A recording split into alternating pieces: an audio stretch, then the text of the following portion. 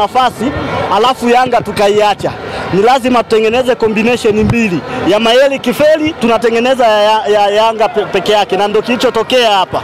Mwanangu wa Mbundo hajaendekeza kumpa Mayele eh, akatia kamba, wanayanga tuka tukashangilia moja kwa moja kabisa. Imedhihirisha ime, ime kwamba sasa hivi ukimkaba Mayele mwingine huko anakupiga, lakini pia ni nafasi ya kuonesha kwamba bila Mayele still bado tuna nafasi ya kuweza kufunga, kwa sababu wachezaji wote sasa hivi tume, tumefocus sana kwenye ubingwa.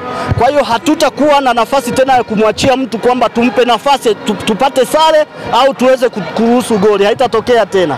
Mbio za ufungaji na George Mpole unazizungumziaje kwamba Tanzania mzawa anachukua hii, nafasi? Ah, mimi sipo kwa Tanzania sasa hivi mzee, mimi ni Yanga, umeelewa? Sasa hivi mimi naangalia ni Mayele wetu tu basi, na nina uhakika Mayele bado ana nafasi, Mayele bado ana muda, bado ataonyesha kile kitu alichonacho, na unamuona kabisa anapambana kutaka tu ili mradi na anatengeneza nafasi, lakini na hizo nafasi wengine wanakosa.